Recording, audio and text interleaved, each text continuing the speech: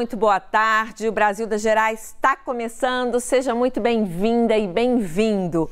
E hoje é Dia Mundial de Conscientização da Doença de Parkinson. Data importante para promover mais informação e qualidade de vida. Para saber mais, continue com a gente. O BG já está no ar.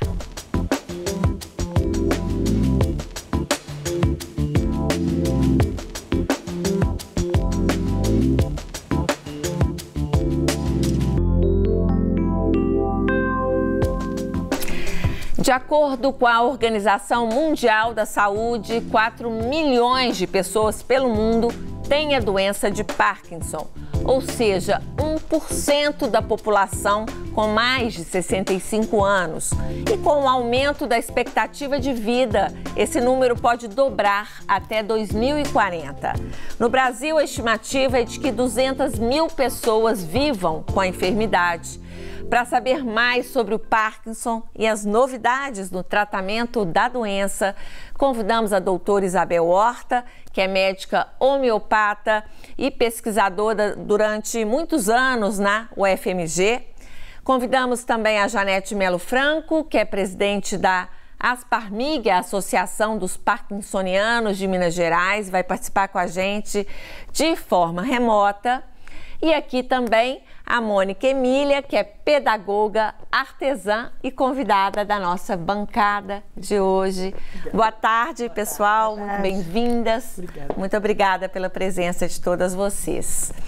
Mônica, o que, que, você trouxe para mostrar para a gente hoje? Montou essa bancada tão bonita. É, eu sou artesã e mexo com reciclados e eu acredito na possibilidade da utilização das mãos para que a pessoa possa criar partir do momento que ela tem consciência disso, ela tem capacidade. Porque é, é um, um trabalho minucioso, um trabalho delicado, mas que qualquer pessoa pode fazer. E a partir desse momento, nesse convite, eu achei interessante, porque às vezes a pessoa é diagnosticada de uma doença e se acha incapaz, e na verdade é não. Pelo contrário, Pelo né? Contrário, Pode ser uma terapia. terapia. ocupacional. E já já a gente fala mais sobre okay. isso. Porque antes, vamos começar, doutora Isabel, explicando melhor o que é o Parkinson. Antes eu queria, para não esquecer, de fazer uma pequena observação interessante sobre o trabalho dela, que existe um, um sétimo sentido nosso chamado interocepção, que é quando você toma consciência do seu corpo, você melhora as disfunções e lesões ligadas a ele. De forma que o trabalho com as mãos, você usa esse sentido, que é a, a capacidade de perceber o próprio órgão e isso foi observar, foi observar também no meu trabalho, na medida em que a pessoa é obrigada a olhar para cada sintoma de Parkinson, é, para poder anotar se ele está de 0 a 4. E a gente notou com, nesses 14 anos que todos tem uma melhoria antes de começar o tratamento, só com o uso dessa, dessa, desse recurso neurológico, é um recurso. né? Que a gente beleza, tá é muito bom. É. Mas vamos explicar então o que é a doença, doutora, Sim, porque é... muita gente ainda não sabe exatamente do que, que se trata. Sim, vou falar rapidamente. É, você tem uma lesão no cérebro, numa área chamada substância negra no mesencéfalo, que é uma areazinha bem no, no meio do cérebro, lá no fundo, no meiozinho dele. E essa lesão diminui a produção pelos neurônios dessa área é, é, do, da, da, substância chamada dopamina. Essa origem da doença é, está ligada não, a dois fatores principalmente. A a, a, degeneração dos órgãos, que é muito maior aos 80 anos do que aos 50, aos 40, ou 30, né? Se degenera uhum. o órgão e ele vai diminuindo a função dele. Mas principalmente hoje está se discutindo a influência da, das alterações que são feitas no meio ambiente pelo próprio homem e que revertem de volta contra a gente. Vamos saber agora um pouquinho da história da Janete, né, Janete? Porque não é à toa que você está à frente da Asparmig. Conta um pouquinho da sua história para gente e o que faz a associação. Há 14 anos eu recebi o diagnóstico da doença de Parkinson. Naquele momento, diante da perda do chão, do céu, de tudo que a gente tem de referência, eu tinha que descobrir alguma forma de lidar com a doença. E não tinha associação, não tinha grupo de apoio, você buscava ajuda no Google, você não achava, não tinha, não tinha com quem você dividir essa carga, essa dificuldade de lidar com a doença. Por isso, é, juntei-me a alguns outros parkinsonianos, naquela época eram 17 homens e eu e mais uma mulher, duas. E criamos a associação. Só que a associação surgiu primeiro no papel, em toda a parte estrutural é, jurídica, para depois ela ter atividades. E até lá eu fui construindo o meu próprio conceito da doença e o que, que ela representava na minha vida, o que, que ela ia trazer de é, diferente, né? Você tem que ressignificar a sua vida diante de um diagnóstico. Você nunca mais vai ser a mesma pessoa. Não quer dizer que você vai ser pior, mas você nunca mais vai ser a mesma. Com essa luta, eu buscando atividades para a associação, eu também busquei meu próprio tratamento. E como não tinha estruturado, nós começamos a receber os, as pessoas que gostariam de fazer trabalho voluntário, e hoje nós temos 17 voluntários, que são mestrandos, doutorandos, especialistas em Parkinson. Que bonito, Eles né? Estão junto comigo no trabalho aqui.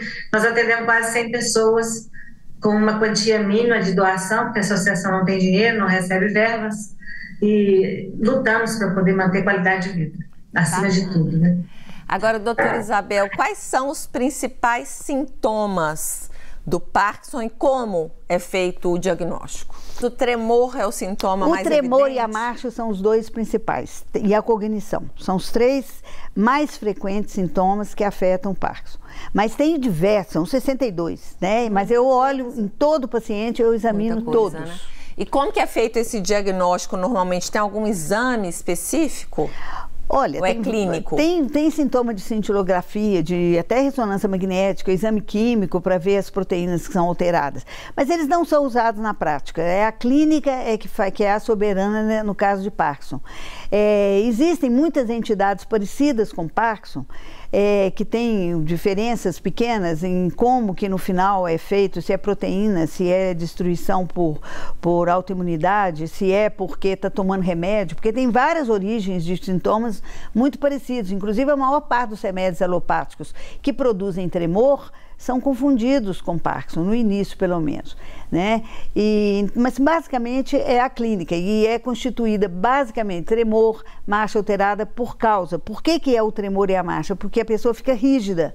Quanto mais rígido fica, mais ele vai tender a tremer, mais ele vai ser impossibilitado de andar né? E de ficar equilibrado também. É, existe um, um, um, dos sentidos que é a propriocepção, a possibilidade de, sentir, de saber a posição do próprio corpo no espaço, se a sua mão está aqui, está aqui, que ela afeta a possibilidade da pessoa, por exemplo, ter o sinal de Romber né, é, positivo, que é fechar o olho, ela cai. Hum. Que não é uma coisa que a gente tem, né? Que a gente fecha o olho e fica em pé, e elas caem. Ou então, se ela manda ela cair para trás assim, ó, ela, ela perde o equilíbrio completamente. E a gente não, se a gente cai, Entendi. Fica... Ela perde o controle. É. Vamos ver agora o nosso primeiro depoimento de hoje. O psicólogo Rômulo Barali descobriu que tem Parkinson há 11 anos e conta agora a importância do acompanhamento psicológico para quem está em tratamento.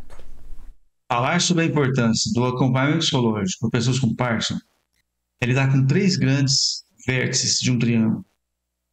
Eu, como psicólogo e portador da doença há 11 anos, sempre falo: o primeiro grande vértice é o vértice do lidar com o diferente. Você começa a tremer, fica mais rígido, a face fica mais enrustida. Isso traz um sentimento diferente. Essa vértice de lidar com o diferente que gera ansiedade, é buscar a volta da confiança, mesmo tremendo diante do público. É um grande fator. O segundo grande fator é lidar com a questão da concepção do futuro.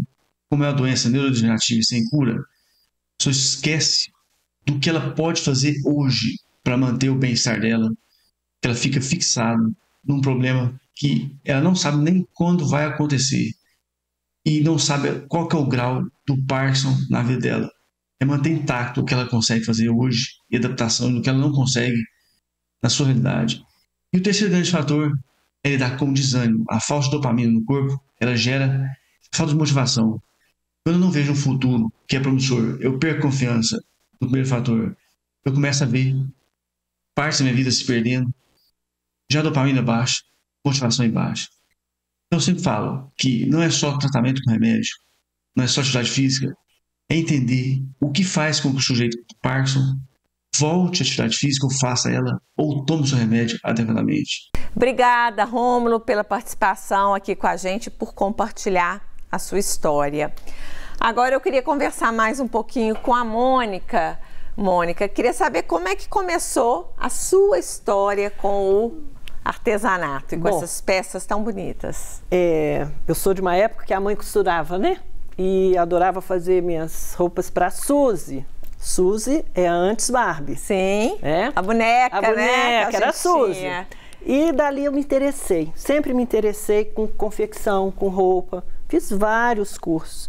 Sou de formação química, sou técnica química, fiz química industrial, mas sempre mexendo com artesanato. Fosse bordando, tricotando, crochetando, criando. E aos 15 anos eu entrei na economia solidária lá em Contagem, que eu gosto. Tenho família já criada, moro sozinha, então você tem que ocupar a mente para evitar Isso essas aí. degenerações futuras. Exatamente. A idade já chegou, eu estou em processo de aposentadoria e quero me dedicar realmente a isso que eu gosto. E a partir do momento que eu lido, que eu moro, que eu vejo o mundo do jeito que está, o reciclado foi o que mais me atraiu. Então é qualquer coisa, eu sou capaz de pegar uma lata de sardinha e transformar. Vamos mostrar para a câmera 1 lá o que, que ela virou? É um joguinho de bolinha de gude. Ah, que lindo. E mostra a tampinha também, fazendo favor.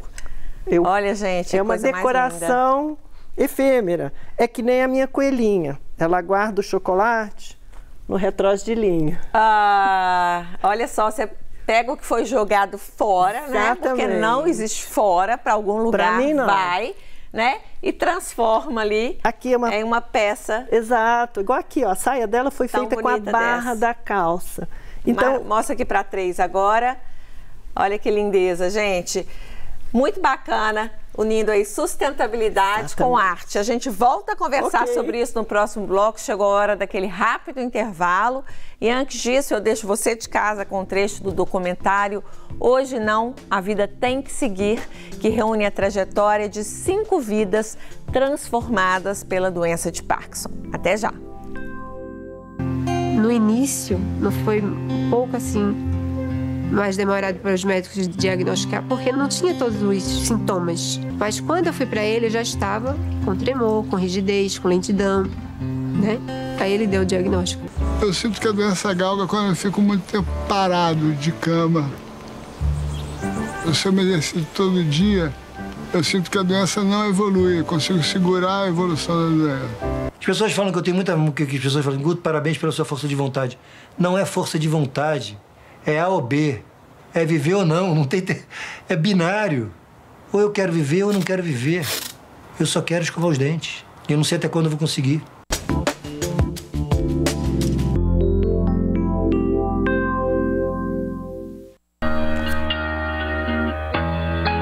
You okay? Jamie, she's sick. You sure you want to do this? Niggas in the car. There's a lot I don't understand about life. With the black coat on. Beautiful girl. You meet thousands of people. I'm not running away. Not your choice. And then you meet one person. And your life has changed. Beautiful girl.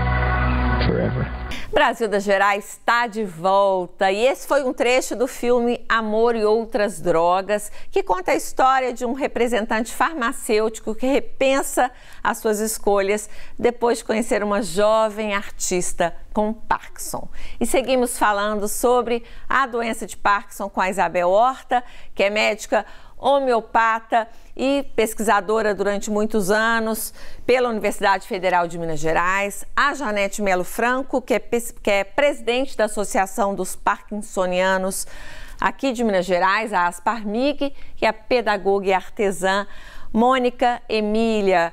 Mônica, que mais que você trouxe para mostrar para gente que você gostaria de destacar? É muita coisa, É, né? A, a habilidade manual, ela requer interesse, que eu acho que tem isso. O que a Isabel pontuou a respeito dos quatro níveis, eu achei muito interessante porque eu não sabia. Então, dependendo da dificuldade ou não da pessoa, ela pode partir da pintura, para colagem. São habilidades Que mesmo com a falta de Exatamente, coordenação motora, que às vezes né, acontece o crochê, por com as exemplo, pessoas com a doença, né? Que é comum. Exato. É uma forma ali de. é uma ocupação, é uma ocupar, distração e a pessoa fica até de exercitar, né? exercitar. Por exemplo, o crochê. O crochê, você vai fazendo correntinha, correntinha, correntinha. É uma terapia, né? E assim você cria. Olha que São lindo, pontos, gente. É coisa. Coisas simples. Mostra essa caixinha aqui dessa pintura. Isso aqui é uma decupagem. Foi feita no papelão. Uma Olha caixa de papelão. Com colagem. com né? colagem de papel de pão. Então, é um reaproveitamento de tudo, porque às vezes você, a sua psicomotricidade se torna mais grossa, né?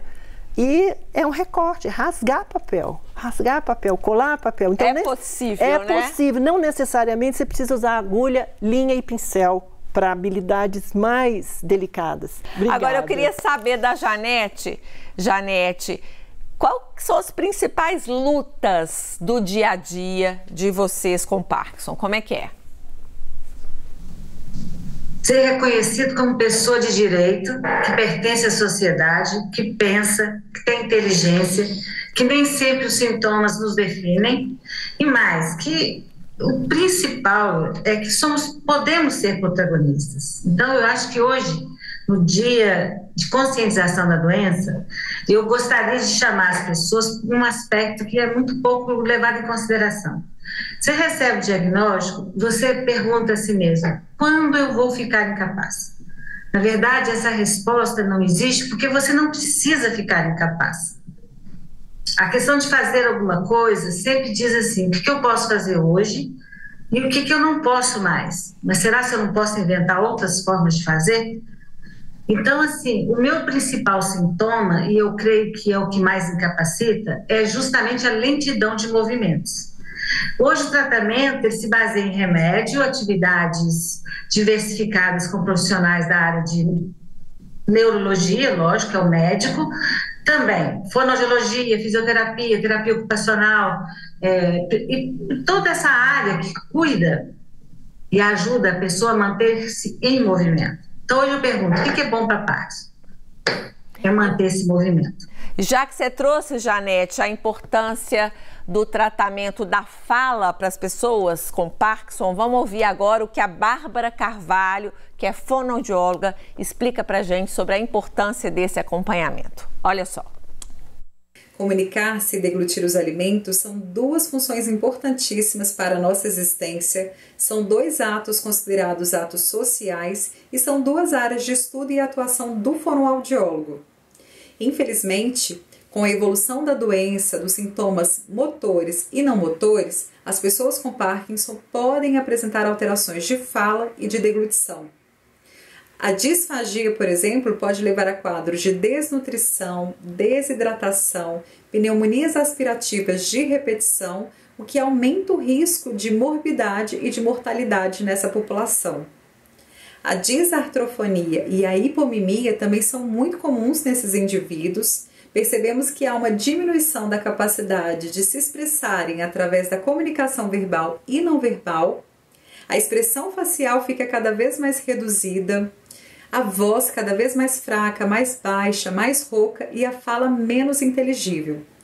Por isso, o fonoaudiólogo é tão importante. A nossa avaliação e acompanhamento visam manter e restabelecer essas funções, gerenciar e prevenir agravos e, junto à equipe, manter a qualidade de vida desses indivíduos. Obrigada, Bárbara, e parabéns aí pelo seu trabalho. E a gente recebeu mais uma história, é a do Marcel Torres. Ele é advogado e descobriu o Parkinson há dois anos.